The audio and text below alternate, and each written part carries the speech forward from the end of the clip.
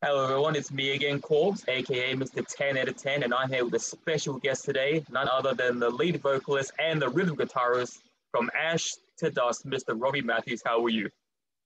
I'm good. Well, you said Robbie. I've been called that forever. Like that's my mom calls me. Well, my mom did. She passed, but it's all good. I'm not gonna get mad. Go ahead. Yeah, well, um, thank you thank for you taking for time, me. especially after work, for being here. Oh yeah, of course. You know, like like we were talking earlier before the interview, it's crazy how like for me it's Sunday afternoon, but for you it's Monday morning. It's like it's so surreal how how the time is different and changing and everything. So thank you yeah. so much for taking the time out of your day as well. So it's all good. I've um I should have said this before the interview, but I've I've officially started annual leave for two weeks. So I've got all oh, the time in the world. Nice. there you go, man. Now you can get caught up in reviews and interviews and everything else. That's awesome. Yeah, I'm looking forward to it. Now, so all right, I want to start at the very beginning. So my first question is, who or what inspired your love for, for music? Um, honestly, it was just kind of for me. I think it was having an older brother that listened to like ACDC, Black Sabbath, Iron Maiden, you know, things like that. He introduced me to to metal, and it was just kind of one of those things that when I was a kid, which most people won't know this till I say it, but I actually started off playing drums. And um, I played drums all through elementary school, junior high. I was a marching band, all that. So um, once I was kind of like in high school, teenager, my parents found this, you know, semi decent, not the greatest. It wasn't like a Pearl or a Yamaha, but they found me a drum set. Um, bought it for like I don't know three, four hundred bucks, whatever it was, and I banged the crap out of it, you know. And then I wanted to uh, start a band and kind of just follow in the footsteps of people that I listen to, like you know Tommy Lee and um, Neil Peart, you know, people like that. And then what what happened was is I was a decent enough drummer that I could play like metal, I could play rock, but you know, all my friends wanted to play thrash, they wanted to play, you know, death metal was starting to become a thing. And I just I couldn't move my feet that fast. So I was like, well, I'm not giving up. I, will I'll figure something out. So then I, you know, being a huge Iron Maiden fan, I was like, well, Steve Harris is God. So let me go ahead and learn bass so I taught myself bass. And uh, you know, growing up, um, our manager actually, Jason Shaw, he's our, our manager. Um, I've known him since like junior high. He'd always he every time we'd go to a party, he'd just be like, "Bro, you don't really drink. You're not really smoking any pot. Like you don't really talk to chicks. I know I know you're not gay, but you know, as soon as you see a guitar, it's like over. You go grab it, sometimes you don't even ask the person if you could play it. You just grab it. Why don't you just play guitar? And i was like and at the time like my two biggest guitar influences were dave mustaine and uh i can never say his last name but rob from death angel. Like those two are like you know gods to me and uh I was like, well, you know, I can play rhythm, I guess. There's nothing wrong with that. There's a lot of amazing rhythm guitar players. I mean, there's stuff that, I mean, I just recently found out James Hetfield plays, and I was like, holy shit, like that's James. Like, I thought that was Kirk, but it's James, you know. And the thing with me is, you know, growing up, um, just in a household that listened to music. My mom would always listen to music. Like she, she, and that's the thing. She listened to, I don't want to say she listened to metal, but she listened to a lot of different types of music, like ABBA, um, Simon and Garfunkel, Neil Diamond. So I've got that part of it. And then growing up, you know, Motley Crue was huge, and Twisted Sister, and Iron Maiden, Judas Priest, Black Sabbath through my brother and then thrash came along and there was metallica megadeth slayer anthrax the big four and i was like yeah this is this is what i want to do right here like this is you know because at the time I was besides playing music, I was playing hockey as well. And I got hurt playing hockey and that was kind of it. So I was like, all right, well, my dreams of playing with the Pittsburgh Penguins are kind of over. So I'm just going to stick to music and I I haven't stopped since, you know. Nice. And you know, I was still, I was just the question just came to my head now as you were talking. Um, see, because I was born in '94, obviously the the the birth of death metal, the birth of thrash, the birth of the hair metal bands, that was way before my time. So I want to know, right. is it um like how is how would you describe the feeling of that era coming out when it did? Because it must have been amazing. It must have been mind blowing to hear that that sound for the first time, that kind of music. Yeah, well, that's the thing. Like my brother, I you know, this is a memory that I'll always have, no no matter what. Um, my brother, because I have two older brothers. I'm I'm the youngest of my family, but I have two older brothers, and my one brother was working on my mom's radio. She had one of those big radios that you like open up, and there's the record player and all that. And he just happened to be working on it, and the radio was on, and uh, the local radio station here was like, "Oh, we we got a new song from a band called Motley Crue. This is Shout at the Devil," and I was like, "That's it. Like, I'm done. Like, that's what I want to do. I don't know what this is, but this is what I want to do." And just kind of growing up in that time, it was. I mean, honestly, you can watch any kind of video from any band: Motley Crue, Twisted Sister, Megadeth, Metallica, Death Angel, you know, all, just that whole time era between LA, San Francisco, when thrash was being made, you know, hair metal, all that. It was it was an amazing time and good music too. I mean, I'll be the first to tell you guys, like a lot of people are like, wow, you listen to a lot of different stuff. Like I would have never took you for someone that listens to Snoop Dogg or Beethoven or I listen to everything. I think t- to me, music is the one thing on the planet, in my opinion, that can bring anybody together. You know what I mean? Anything. It doesn't matter what race you are, what religion you are. You know, music is that one bond that you can go to a concert. You know, it doesn't have to be a metal concert. You can, you can go to, I don't know, um, you can go to Garth Brooks. There's a million people watching Garth Brooks on stage, but they're all enjoying it. No one's trying to kill anybody. You know, no one cares if you're black, white, purple, green, a Martian, lesbian, gay, bi. They don't give a shit. It's the music just is there. And I just feel like music is one of those things that it's a very rare uh, commodity that brings everybody together. You know what I mean? And just living that, you know, and I, I know that like you, you said, growing up in the time that you grew up, Nirvana was getting big and grunge. No, oh, grunge killed metal. Grunge didn't kill metal. It was just, you know, it evolved because you think about it. In the 70s, there was kind of like disco and punk. And then the 80s was more like hair metal, thrash metal started coming around. Then grunge. It's music is always revolving, always, you know and that's the one thing I like about the genre that I played. I play thrash metal. No matter what, thrash metal is always going to be there. Heavy metal is always going to be there. You know, Black Sabbath retired. Someone's going to take those reins and they're going to run with it and they're going to, you know what I mean? So it's one of those things. It's not just pop culture and hey, stop biting that. Sorry, my dog's chewing on my shoe.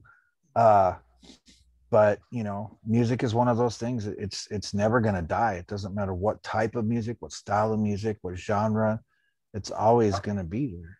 And i think that you know growing up in that time totally amazing you know. It, it was definitely a roller coaster. Granted i was you know young but it was amazing just to hear what was coming out or you know just different styles of music just kept coming out, coming out, coming out. Metal, a British heavy metal invasion, this, that, you know. So it was it was really cool. I, I loved it, and I don't think that there'll ever be something like that again, ever. To be honest. Yeah. Well, I got to be honest. When I, for me, it wasn't really grunge that blew me. I mean, I think I was still a bit too young for grunge, but the but the era that I remember like opening my eyes, like, oh my goodness, was nu metal. Nu metal Yeah. for me. That's why I was like, oh my, like we're talking. So what? Slipknot, Korn, Korn. uh, Limp, Yeah. Limp Bizkit. It was just like I've never heard this style before, so that's what blew me away initially. Yeah, Korn. I I can say that as far as nu metal, Korn is probably like the top of the food chain on that. Like Dave, they are definitely you know, and, and not discrediting Slipknot either. They're amazing as well, but I feel like Slipknot's just a little different than Korn. But Korn is like the grandfathers of nu metal to me, and and they're amazing. I've met the guys; they're all very down to earth kind of guys. Just you know, not not you would think, oh my God, it's Korn. They're so huge. You know, please don't be an asshole. But they're cool as hell. Like every band that we've had the opportunity to play with, like nationally, worldwide bands, you know, Grammy nominated bands, they're cool. They're just people like you and I. You know what I mean? The only difference is, is they got more money than both of us. That's about it. You know, they're just so down to earth people. Yeah. Well, yeah. So yeah. So for me, it was nu metal, but still, I would have. Right. It's cool. It's cool hearing hearing your um, you remembering the history of like the hair metal and the thrash metal because all I can do is put headphones on and pretend like I knew what it was like, but I have no idea. Right. Yeah. Yeah. Yeah, I mean, don't get me wrong. I, I was so young that I wasn't on the, you know, strip in LA. I was way too young to be there. But from everything I've watched and, you know, videos and things, it was just like, man, like that was so magical. I wish I wish I was old enough to be there at that time and, you know, see Motley Crue for the first time, see Metallica for the first time. So but I mean, that's that's what's great about technology is you can find all that stuff somewhere in the bootlegs of YouTube. You know, you go and type in something like, you know, I don't know, Metallica 1985, you know, and you'll see them playing, you know, all these places that are clubs and places like that. So yeah, it's it was it was an amazing time for sure. Yeah. So, so the next thing I want to ask is, where did the name Ash to Dust come from? Was it a collective idea, or was it just we're gonna do this? Now? No, well, I mean, for the most part, when uh, uh, I'm originally from Arizona, but I lived in Utah for about, I think it was four years. I played in a band there called Anubis, and our logo was really cool. Uh, my buddy John Campbell made it, but come to find out, there was a band already signed called Anubis. So we were like, okay. So then we changed our name to uh, what was it? Malicious Intent and then um, I basically was just like, look, man, I'm going back home. Like, I, I just don't feel like it's going to happen here for me, you know? So I got back uh, January, January 7th or January 10th of 2007. And from that time to about June or July, I was just kind of like, all right, you know, I have a few songs I can use that I wrote. And I was like, all right, I, I want a name that's going to stand out, but at the same time, I want something that's going to relate to me. You know, like I like very macabre, dark, uh, you know, death, serial killers, things like that. And to me, the name just, it, I don't want to say up here in a dream because that's dumb. Like, but it just kind of came to me. I was like, well, you know, I always tell people the, the basic gist of how Ash to Dust became a name was I was sitting there one day and I was like trying to think of a name and I was like, all right, Ash to Dust, like that's cool. I like that. Like it's dark, it's you know, it's medieval, but at the same time, the meaning behind it truly is, you know, when you're born, you're already dying. You know, the minute you come out of the womb or have a heartbeat in the womb, you're already dying. So that was part of it. You know, as human beings, we all love, we hate, we have anger, we have all these emotions. And that's kind of what Ash Dust is, is just a combination of everything in general about humanity and life. You know, you live, you die, you're happy, you're sad, you know, things like that. And that's that's basically to me, that's what the meaning of Ash to Dust is. Yeah. Plus, plus a lot of people say ashes to ashes, dust to dust, you know, things like that. So I was like, hmm, sounds good to me, but we're not going to add ashes. It'll just be ash to dust. So that's that's basically, you know, I just kind of thought of the name and rolled with it. Ever since then, that's what the name of the band's been. Nice.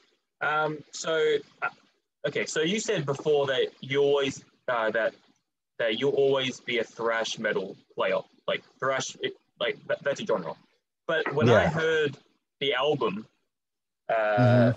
Demons Within, hmm it, it, it sounded a lot heavier to me than thrash. Um, and so obviously that means you incorporate thrash elements into your music.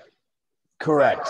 So how does the so so what was the inspiration for the genre you currently play? Like like the heavier sounds. What inspired all the sounds? Um, well, you know, for the influences, I think for me personally, Death Angel, Megadeth, Savatage, um, Iron Maiden, you know, those bands really influenced me to want to play, you know, like that. I mean, I can't say that Metallica didn't influence me. They did, obviously, and they influence everybody. I just personally don't like the direction they took but I'll always be a fan from Kill 'Em All to And Justice for All. Bottom line, to me, you know, whatever. But for me, it was, you know, I was thinking about this on the drive home because I was like, all right, I know he's going to ask certain questions, this and that. To me, Death Angels Act Three was like, that was it. When I heard that, it was like, that's what I want to do. That's the style I want to play. You know, these guys are completely badass, you know, and Megadeth will always be a huge influence on me as well. And that's why if you listen to like uh the song Mother May I or the beginning of Demons Within has piano in it, that's incorporating the Savatage influence on, that I have. And then, you know, obviously there are three other members, so we're like a four-headed beast. I write all the lyrics. I write, you know, most of the the guitar with Omar. Chris obviously writes the drum parts. And at the time it was Chris's brother, Travis, but now it's currently Ashley, our bass player, writes the bass parts. And it's just like a four-headed headed thing. Hey, I've got an idea. Let's try this with that, you know. Um, what do you think about this? Well, I don't like that. Let's cut that, but let's put it on the back burner. We might be able to use it here. So, you know, I with the whole concept of demons within is actually, um, you know, I usually say this in interviews so people kind of get an idea of what the, concept was for the album. Me and my daughter went through a lot with her mom. She was a drug addict. She was addicted to crystal methamphetamine and heroin. So when you listen to the songs, you listen to the lyrics, it's a story about what me and her went through. Because initially, what I wanted to do with Demons Within, because I'm a huge King Diamond fan, I wanted to write a concept album, so to speak. So, in a sense, Demons Within is a concept album. It's just not A, B, C, D, F, G, you know, so like King Diamond is, but it's still somewhat of a concept album. It's about what me and my daughter went through. And yeah, so um, so yeah, that album and and and and thank you for giving it some um some very deep context. When I was listening to it, Yeah. the one the one thing I noticed was there's so many different sounds, so many different um because I'm pretty sure in my review I compared you to Burzum. the um, Yeah. and like like you know it, like in the sense of whenever I listen to his music because I have his whole discography on my computer. When I listen to his music, he has something different all the time. It's never Right. it's never a consistent sound, and I really like that. I remember I remember thinking listening to the Demons Within like it's it's really interesting how you're not sticking to one sound. It's just a whole bunch of different sounds put together. And so I just want Right. to know, um, is that the same feeling you got when you made it, or was it was it a different feeling for you? Um, yes and no. I mean, for the most part, it- it was because the thing is, um, currently we're in pre-production to re-record the first album. which was the self-titled. I guess it's a self-titled, it's Ash to Dust. So that was already done and whatnot, but the quality of it, because when it was recorded, you know, technology changes all the time. So I was like, hey, I want to work on Demons Within and go from there. Well, at the time we didn't have a title for the album, but I said I have all these lyrics. I just need to add some music to it. Let's do this. And it was just kind of one of those things like with Mother May I. Um, when I wrote that, it was more so I was trying to write a song that was looking through my daughter's eyes and see what she was going through. So I knew that it was going to be very emotional, very sad. And that's why I wrote the lyrics the way they are. But the music, I had an idea like, okay, regardless, it's it's gonna be a ballad. You know what I mean? So that's how it came out. But I've always I've always loved the piano and I've always loved acoustic guitars. So there's always going to be that resonance of that in our music, but there's always going to be that, you know, cram it down your throat as fast as we can play and kind of deal. And, you know, like I said, having a four headed demon we all have different influences and different ideas and everything like that. So when someone brings something to the table, we either try to see if it'll work and it does, or we take it, put it to, to the side and put it somewhere else in a different song or, you know, area of a song, a bridge, chorus. So, um, yeah, that's, that's kind of what I, I'd, li- I like doing is I don't want it to just be 280 beats per measure every song, you know, because then people are gonna be like, yeah, I've heard this. Like, case in point, and whoever's watching this, and you yourself, especially being from Australia, don't take this the wrong way. ACDC, everything sounds the same. You know what I mean? You can tell ACDC as soon as you hear the first three notes. And I love ACDC, don't get me wrong. But I didn't want to do that. I want to, I wanted to spanned out and try to do something. So there's whether there's five songs, two songs, the whole album, there's something for everybody to listen to.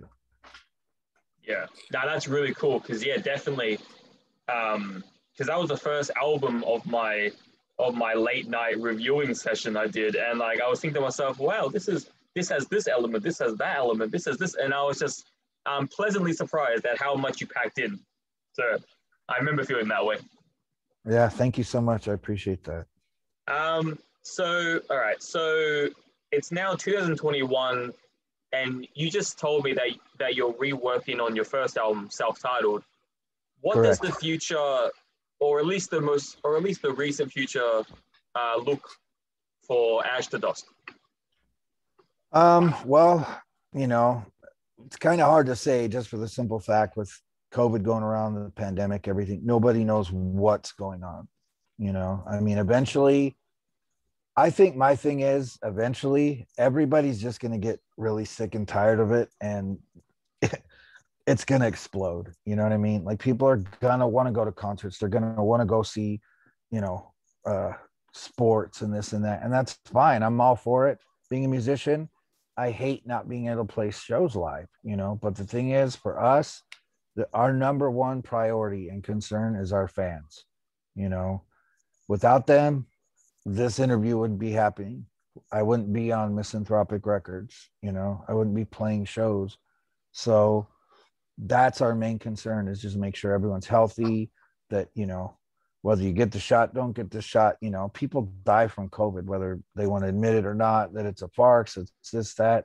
You know, I know people that have had it and I know people that died. So it's just really hard to say because with COVID, you know, you could get in a car accident they'll be like, oh, they died from COVID because it seems like, you know, hospitals get more money for this, that, the other. But as far as the future for us, I can honestly say it, it looks very bright for us. Um, April 10th, we're playing uh, Denver, Colorado, and we're playing with one of our our label mates, Deadwind, who is also from Tucson, which actually our bass player is their bass player, or I should say their bass player is ours, because Ashley's actually originally in Deadwind and then came to to Dust. Um, Misanthropic is setting up uh, an East Coast tour from June and July for us. So we'll be out on the road for, I don't know, like two, three weeks, however long it takes us to get there and back. You know, we got to make sure we're safe and sleep and eat and energized and everything. We don't want to end up driving off the road or something. But I can definitely say that, you know, musically, like I said, we're we're in pre-production for the album, so or the self-titled. So we're gonna have that coming out this year.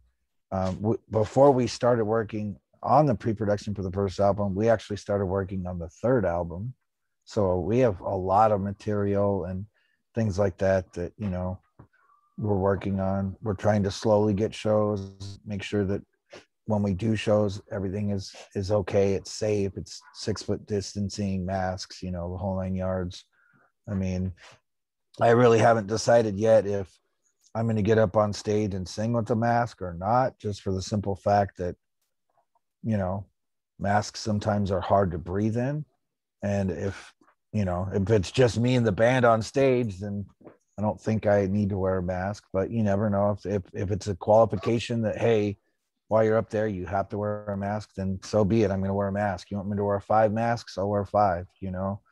But I think that the future is looking very bright for us. We have, you know, the label backing us, which I wanted to show you guys real quick. Yes, I'm supporting Misanthropic Records uh, T-shirt that I have, but uh, it's been it's exciting. Like uh, for for us, because obviously you being in Australia, I'm sure a lot of people are like, man, Americans are stupid and this, that, and their government's retarded and whacked out and everything else. But one good thing about our government, um, they did send us our stimulus checks. So we got those. So I literally just went out and took my stimulus check and bought all kinds of merch for the fans. So we're going to have new t shirts, new line of t shirts, stickers, keychains.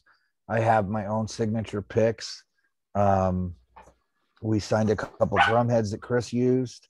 So we're gonna have a lot of different stuff um, for the store on our website, and uh, you know, as far as you know, our YouTube channel, go subscribe, guys. We only need like ten more people, I think, to hit 100 to get that actual like official URL at YouTube. But uh, you know, we're we're doing everything the way we feel that we should be doing, but trying to be safe at the same time, make sure everyone else is safe, the band we're touring with, you know, things like that. So it's it's looking very I'm not gonna say it's looking dim because I'm not I don't feel that way. I feel like things are gonna start opening up and people are gonna start getting healthier and the strands of coronavirus are gonna be, you know, we're gonna get shots and you know, pills or whatever they need to give us. Not saying that we're all puppets, but at the same time, if these people who are dying to see concerts and sports events and things where social is ha- going to bars, you know what I mean? If that's what you want, you're not being a sheep by any means by getting a shot, taking a pill, whatever. If that's what your government's asking, you know. So our main concern is just to make sure that everybody's safe, healthy, and just keep continuing to write music, play live when we can, and go from there. That's a really good outlook, and um, yeah, I'm, you know, I love your hustle, you know, I love your drive, you know, you, and the fact that you spend your stimulus check on stuff for the fans, that's that's you know proof right there of your your dedication, you know. Yeah, and, well, you know, the thing is, is for us, I just want people, you know, because I'm not just a musician, I'm a fan too. I mean, I I bought what did I buy? I bought two Death Angel shirts. um what else? I bought some other merch from other bands. So I'm not just a musician, I'm a fan too. So, you know, I want to be able to I'm not saying that, you know, Ash to Dust is going to turn into Kiss and I'm going to be Gene Simmons and we're going to sell tampons and condoms and cell phones and, you know, whatever. But I think that when someone goes to a show and they enjoy a band they've never heard before, of course they're going to want something. You're, they're going to go buy a sticker, a keychain, a t-shirt, a hockey jersey, wh- whatever that band has to offer. And, you know, we're sensible. We realize that we're not Slayer, we're not multi-million dollar band, so we're not charging five hundred dollars for a shirt. You know, it does cost money to make them, but we price them, you know, per how how much did we buy? What's the design cost to make this and that? And you know, I think our prices are reasonable. You know, it's not like we're trying to do fifty dollar shirts when you know I know no one's gonna buy them. So why would we sell them for that? You know. But it's all it's it's always going to be and always will be about the fans. You know. Well, I can't wait to get my hands on some of the merchandise so I can promote it as well. You know, wear it on interviews. Oh yeah, for sure. Yeah, there you go. Um, Yeah, definitely. Um, I'll uh, I'll get your information, man. I'll I'll send something the best I can. I know it's international, so I could send it tomorrow, and you'll end up getting it in June. Oh, the way, better late than the way everything's working. Yeah, exactly. Yeah. Um, all right. So the last few things I want to ask you, just just to get just to get your perspective, I'd like to know, in your opinion, what is the most what is the in your opinion, what is the greatest album of all time? Rust in Peace by Megadeth.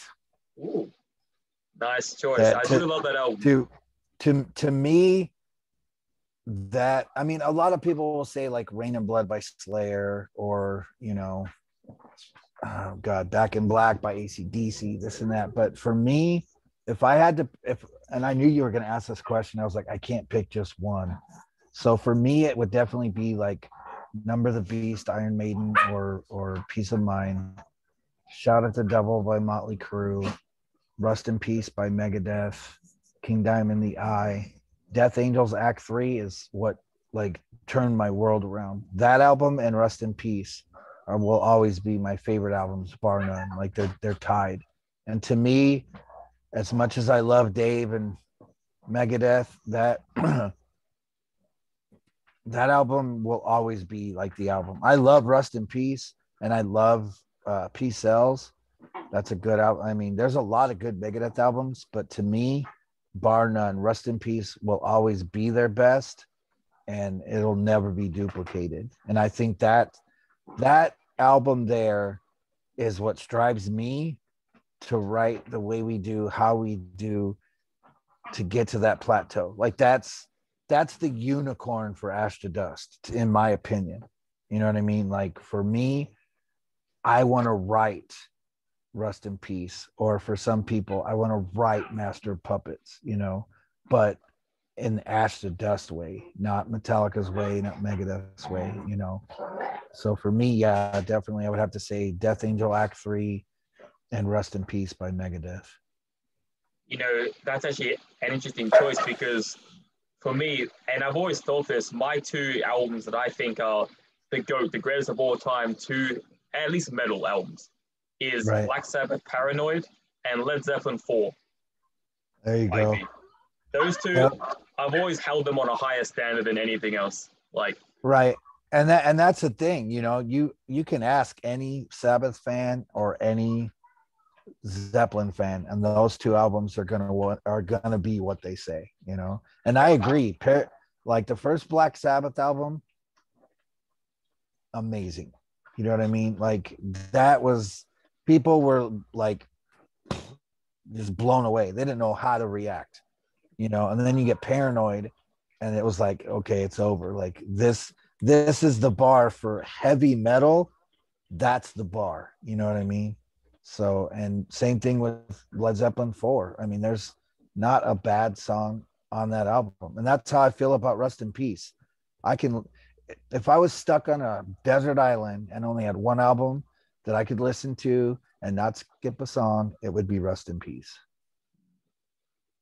um, I remember watching a metal documentary once um, years ago, and one of the guys said, said heavy metal peaked with Black Sabbath. Now everyone everyone just slows down, speeds up, does left and right what Black Sabbath has already done. And it's an interesting concept. Like it's it's you know and that's the thing like playing playing the guitar there's only so many notes so many riffs so many chords that you can play on a guitar. I mean, I'm sure that I've played something some way and been like, okay, I know I've heard this before. Like uh the song DDAM, that's that's my daughter's initials. The very beginning acoustic part, I wrote initially wanting to put it in a uh like a, a ballerina thing that she could listen to and it turns around and plays music uh, a, a music box. But as i was writing it i was playing it and writing it. And you know when you you write and play it's you know do i want it faster slower what do i want to do? And i played it and i was like shit i can't i can't play this. I can't use this. Like come to find out it was uh oh god what song was it? Uh last in line by dio. So i was like yeah well okay you know i mean it's it's basically the same chord structure. I'm just playing different notes but it's literally the same same uh, chord structure you know? And that's the thing if you listen to like metallica and slayer a lot of their stuff is the same chord progression just different notes but it's in the same spot, you know. Like uh, for instance, one is the same chord progression per se. The first like I don't know, 10 notes of one is the same thing as Welcome Home Sanitarium and uh, Fade to Black. It's just the way you play it and how fast or slow you you do it. So, you know, and that's that's the one thing about music is it doesn't matter what instrument you you play it's always going to have something of somebody in there. And with Ash to Dust, bar none, you know, like I said, Death Angel and Megadeth are my biggest influences, but I'm sure somewhere subconsciously in the back of my head, Black Sabbath is there. Because without Sabbath, there would be nobody, you know, there would be no Ash to Dust, there'd be no Motorhead, there'd be no Megadeth, Metallica, anybody, you know what I mean? Black Sabbath is the the bar of heavy metal. They're the godfathers of heavy metal. Couldn't agree more. Now, now I'm going to end things off in a, in a controversial kind of fashion with the next question. What do you think oh, is God. the most overrated album of all time? Um, ooh.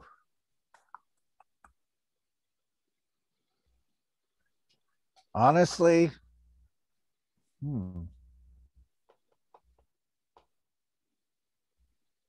The thing. now you're like making me think. I don't know. I off the top of my head, I guess I'd have to say Metallica's Black album. Everyone says that. well, then I don't feel so bad.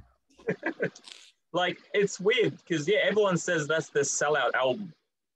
Like yeah, that that's that's how I feel. Uh, you know, well, I don't want to say sellout because they made a lot of money for that album, but at to me was the beginning of the end for them. You know, I mean, don't get me wrong, from what I've seen interview wise, this and that, they all seem like pretty cool dudes. I mean, Lars is kind of a dick, I guess, sometimes, but the thing is, with you listen to like the first four albums, Kill 'Em All, Ride the Lightning, Master Puppets, and Justice for All it was all boom.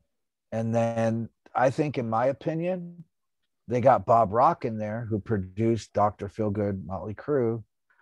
And that's kind of where they're, I don't want to say their downfall because I mean, Metallica is the biggest band on the fucking planet right now. I can't say a bad thing about them. You know what I mean? They're, I, I would want to be in their shoes right now. I mean, come on.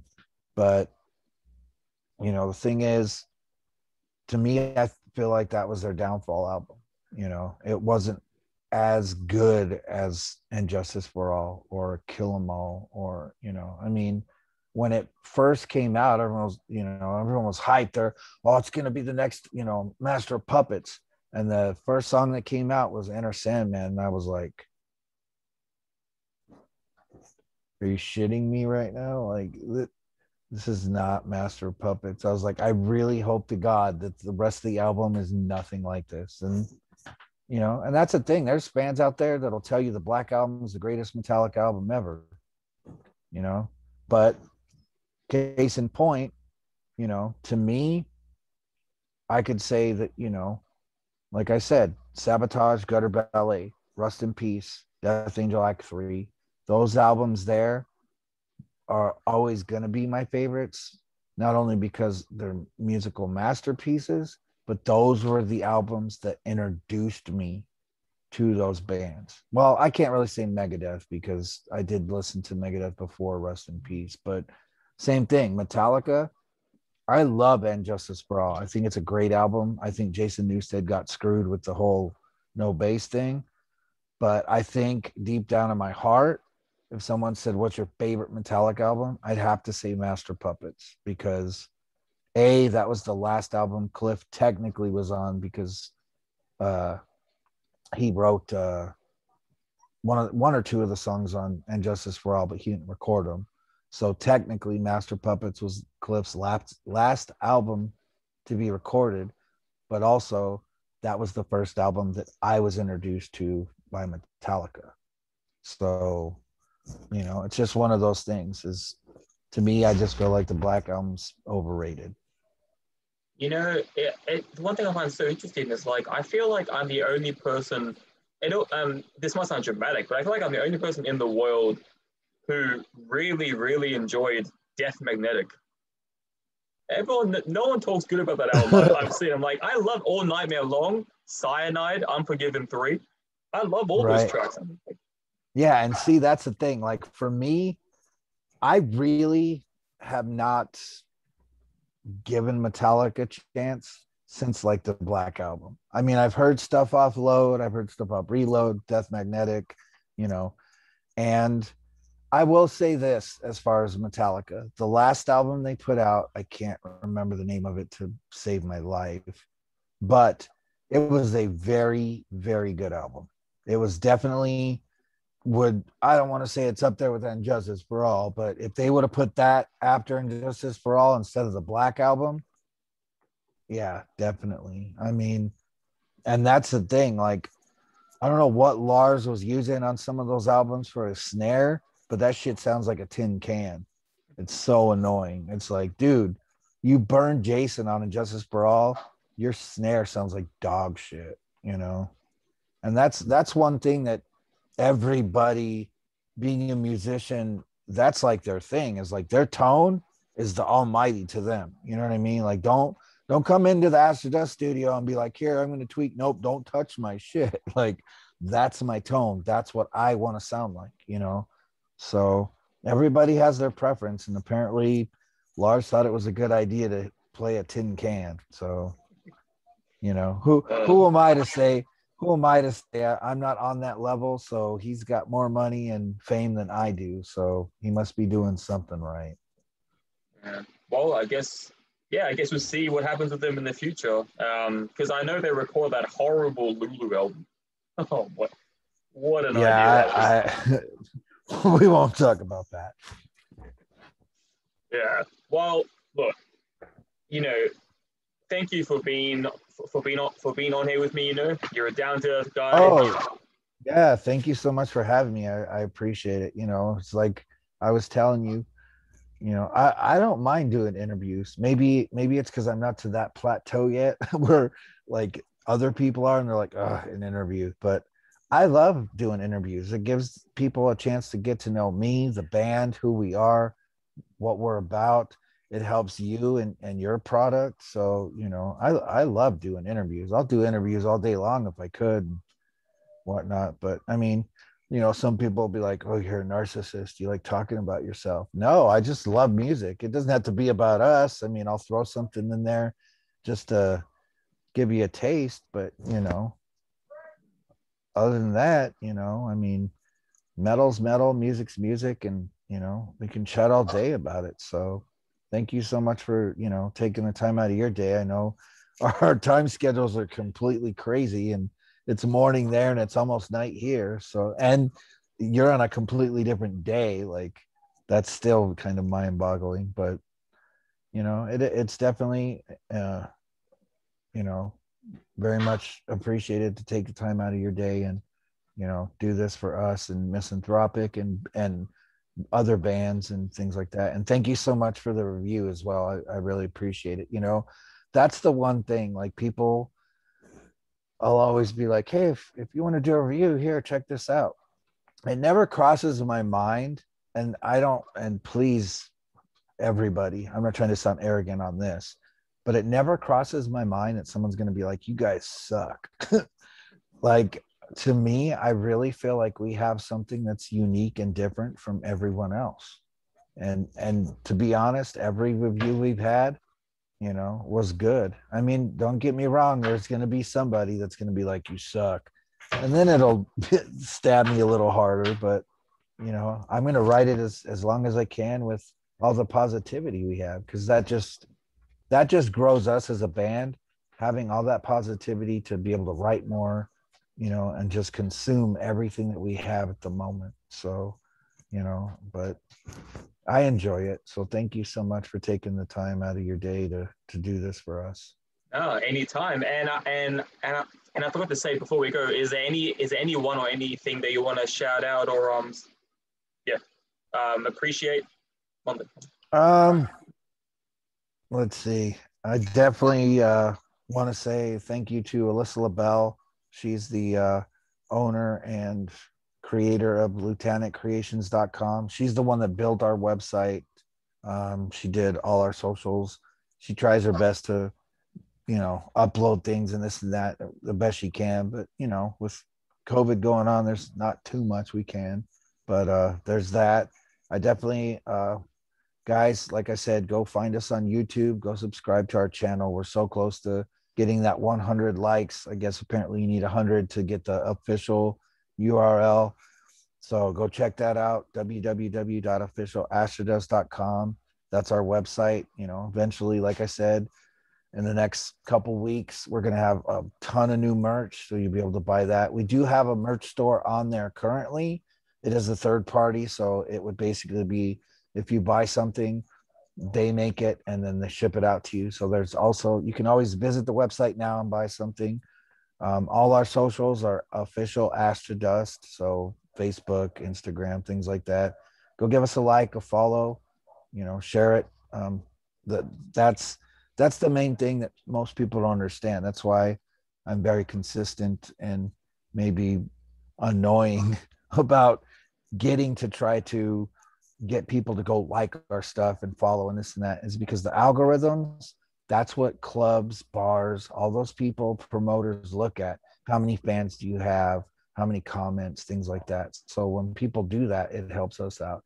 And in the long run it'll help you guys out because if we get enough people then we can say okay um, you know 2.5 million people just liked our Facebook on Australia. Guess we should go go play there. you know. And I, that's the thing. We would love to play overseas. That's that's one of the the things, you know, on my bucket list for sure is to try and get to other places other than the United States or Canada or Mexico, you know, I would love to go to Australia, Europe, you know, Japan, all those places, you know, not just to play music, but to like see the scenery and you know everything that's different from where I live to where you are or someone else, you know, because the world is the world is a beautiful place. You just got to take the time to open your eyes and see what's there. I agree. Yeah. Yeah. Well, yeah, you know, again, thank you, thank you again. Um, I love the band, love the album, and as soon as new stuff comes out, make sure you send it to me first, and I'll review it. Oh yeah, yeah, awesome. For sure. I will. I'll definitely uh, give you maybe a, a recording or two for uh, the self titles. We should basically, um, like I said, we're playing Denver the 10th of April. When we get back, we'll start recording Chris's drum tracks on that. So I'm pretty excited. And then, yeah, well, that makes two of us. You know, yeah. And the thing is, the, the album shouldn't take too long to record because we know all the songs. We play some of them live We've been really digging deep, you know, hitting it hard to get this album. It's just going to be the mixing and mastering. That's that's honestly the hardest part of recording because you got to sit there for hours on end. You listen to something, you know, through speakers and monitors, and you put the headphones on, and take them off. It's it's a rough process, but you know, in the end, it's all for you guys. We want to make sure that whatever we put out, you guys enjoy. So, you know, if it takes three days to record the album and four months to master it, well, I guess it's going to take four months, but you know, we'll definitely have that product out. And then I'm sure by next year, the third album will be out. We'll, we'll see. I mean, we've got some good stuff for that album too, but we're going to push Demons Within right now. You know, we were doing a good run with that before COVID. We'll uh, get that other album done sometime this year, put it out. But I will definitely, my friend, send you it so that you can review it. And uh, once we get all the good merch in, I'll uh, I'll send you a little care package. So I appreciate it. All right. Thank you again. And um, yeah, I'll be talking to you on Facebook anyway. So this won't be the last time. Yeah. oh yeah, for sure. Thank you guys so much for viewing this, watching it. Um, we love you guys. Hope to see all you guys very soon.